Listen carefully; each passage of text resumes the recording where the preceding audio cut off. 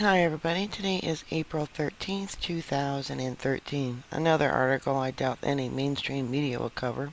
And if they do, it'll probably be watered down.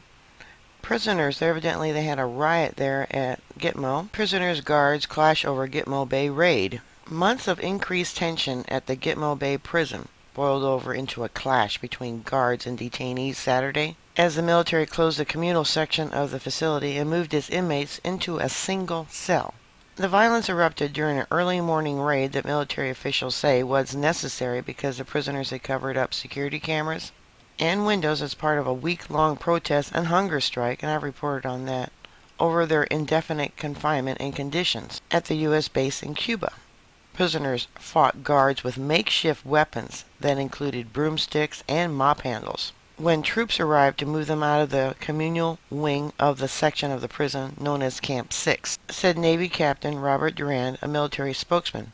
Guards responded by firing four less than non lethal rounds, he said. Right. There were no serious injuries from the rounds, which included a modified shotgun shell that fires small rubber pellets as well as a type of bean bag projectile, said Army Colonel Greg Julian, a spokesman for the Miami based U.S. Southern Command, which oversees the prison at the U.S. base in Cuba. I know for sure that one detainee was hit, but the injuries were minor, just some bruises, Julian said. The confrontation came a day after the team from the international community of the Red Cross finished a three week visit at Guantanamo to meet with prisoners and assess conditions. The ICRC continued to follow the current tensions and the hunger strike at Guantanamo very closely and with concerns. Spokesman Simon Schorno said, If necessary, the ICRC team will, in coming days, return to Guantanamo to assess the situation of the detainees on hunger strike in view of this latest development. Camp 6 had previously been a section of the camp reserved for detainees who followed prison's rules. In exchange, they were allowed to share meals and pray together have nearly round the clock recreation time as well as access to satellite TV, computer games, and classes. It held a majority of the 166 prisoners at the base before the hunger strike began, but the military said the number was down to fewer than 70 on Saturday. Prisoners in the communal section had access to material with which to make some of the improvised weapons used in the clash with the guards, Durand said. Troops were confronted with batons made with tape and plastic water bottles, about three to four feet long and as big as around as a broomstick, he said.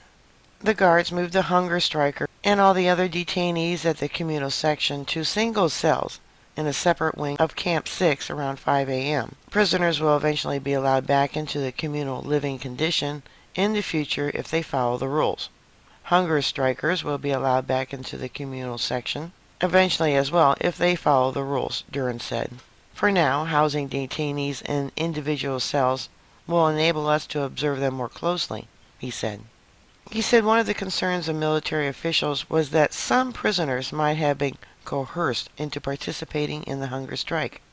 Tensions had been high at the prison for months. Lawyers for the prisoners said the hunger strike began February 6th in protest over their indefinite confinement and what the men believed were tighter restrictions and intrusive searches of their Korans for contraband. Prisoners offered to give up the Muslim holy book that each one is issued by the government, but officials refused, considering it a tactic and mission of wrongdoing. This is exactly the opposite of what they should be doing, Carlos Warner, a federal public defender in Ohio, said of the decision to move prisoners into a single cell instead of negotiating at the end of the strike. The military is escalating the conflict. The military said 43 prisoners were classified as hunger strikers under a definition that includes missing nine consecutive meals. Lawyers for prisoners have insisted the strike is much more widespread and say almost all of the men are refusing to eat. Officials were also concerned that some men were surreptitiously starving themselves to avoid being classified as hunger strikers and force fed.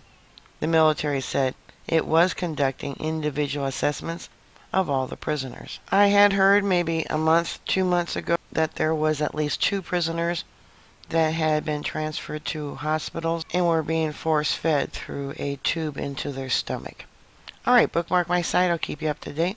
Please stay safe, and I'll talk to you later. God bless y'all. Bye.